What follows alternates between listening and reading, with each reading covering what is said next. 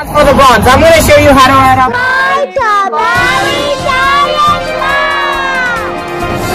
Wake up, Bronx, wake up. Let's start 2021 with a math problem every day. Here's our math problem for today. Prove that the sine of the sum of two angles, A and B, is equal to sine of A cosine of B plus cosine of A sine of B. We have to prove that. Okay, so how do we get started?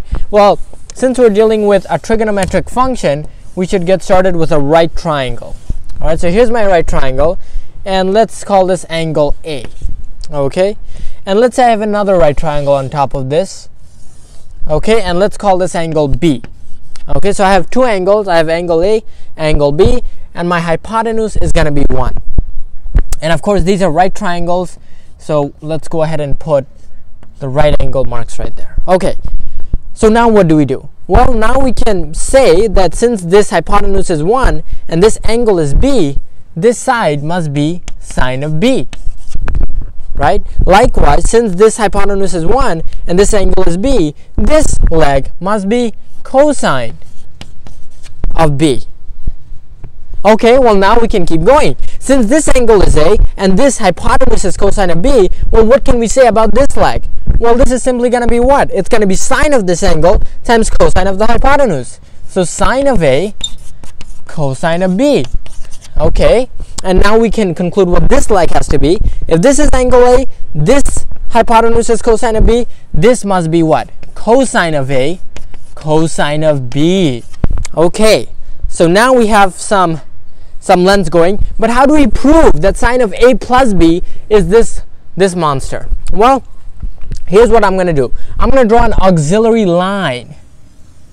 So I'm going to draw this line and I'm going to cut off this part over here. So let's see what we get. If I draw this line and draw one more altitude right here, what do you see? Well, check it out. We have two similar triangles. These two angles are equal to each other and these two angles are right triangles. And so if this is A, this angle, this small angle over here, must therefore also be A. And since this angle is A, and this is a right angle, this must be 90 minus A. Right? These are complementary angles.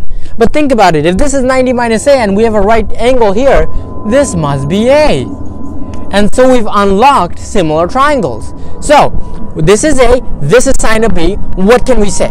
Well, we can say that this leg over here has to be what? This has to be sine of B cosine of A. Right? This leg over here must be sine of B cosine of A. And now you can see where I'm getting at. Now we can find what sine of this angle is. Right? Sine of this angle is this leg plus this leg. All right, well, let's see what that is. Sine of, let's, let's write it nicely, sine of A plus B is equal to what? Well, what's this like? This like a sine of B cosine of A. Sine of B cosine of A. And what's this like? Well, you can see what this like is. It's sine of A cosine of B plus sine of A cosine of B. And there you go, ladies and gentlemen. We've just proved the sum of angles formula for sines. Sine of A plus B is sine of B cosine of A plus sine of A cosine of B. Exact match. Exact match. Thanks for watching this lecture of Math for Once. We'll check you out next time, sponsored by Brilliant.org.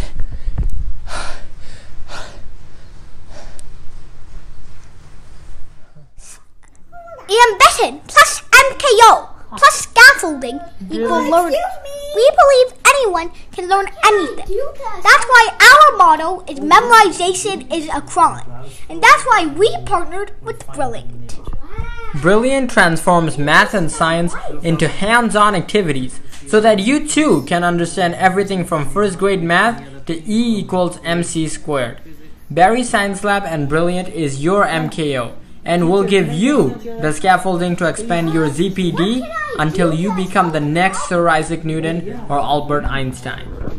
Visit brilliant.org slash Bari Science Lab today. The first 50 of you to use that link will get a 20% discount on the Brilliant annual subscription. Don't, Don't forget, forget that you too can become the next Einstein. So let's fall in love with math and science.